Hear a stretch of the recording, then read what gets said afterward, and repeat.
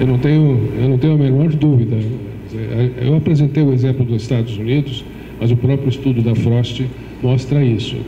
É, vocês sabem que os nossos ministérios são divididos politicamente e é muito difícil a gente fazer um projeto interministerial no Brasil. O problema interministerial é muito complicado, até porque muitas vezes são partidos diferentes, são objetivos diferentes. A gente precisa do CTO para funcionar.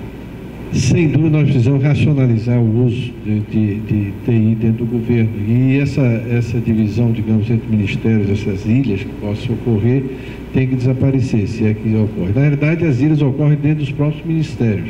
Ministério do tamanho do Ministério da Saúde, nós temos várias pequenas ilhas. Então, há dificuldade. Realmente, um CTO para o país seria interessante.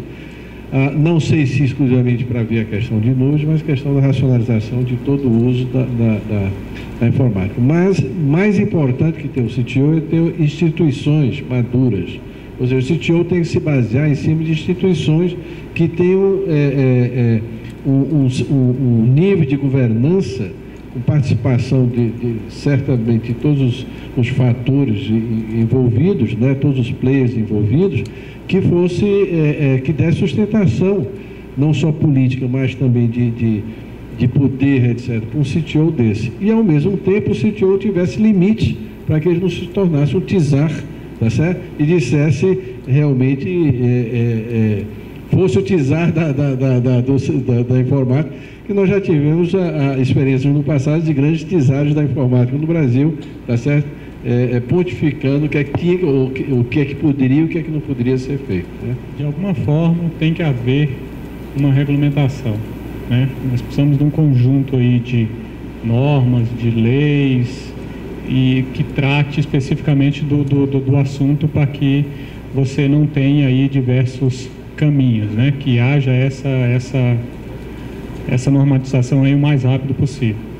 Uh, o SERPRE entende que já tem um arcabouço, já tem alguma coisa é, é, é, já regulamentada, né? Tem, nós nos baseamos para a construção da cloud na, numa norma editada pela própria Casa Civil, né? a norma 14, que ela é datada de 1 de, de, de janeiro de, de 2012, ela é 30 de janeiro de 2012, onde nós estamos trabalhando a construção da nossa nuvem com esse objetivo e também estamos baseando o nosso modelo de negócio também nessa norma que ela, no nosso entendimento, ela já regulamenta ah, o que que se pode, o que que se deve e o que se não deve ter em termos de, de, de, de se colocaram ou não um dado na, na, na nuvem. Eu acho que essa iniciativa seria extremamente benéfica para o país, porque ao invés de você ter várias iniciativas sendo conduzidas por diversos órgãos, você teria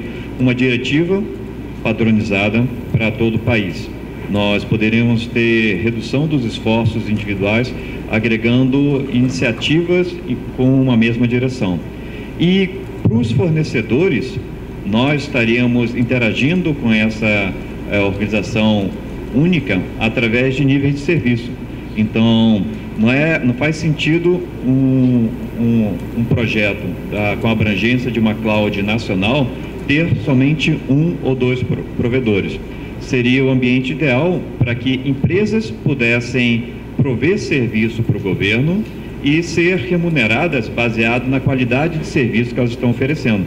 Então, essa grande cloud brasileira teria quatro ou cinco provedores, onde, conforme o nível de serviço que é apresentado, que é mantido e sustentado por essas empresas, elas teriam uma participação maior ou menor nessa cloud.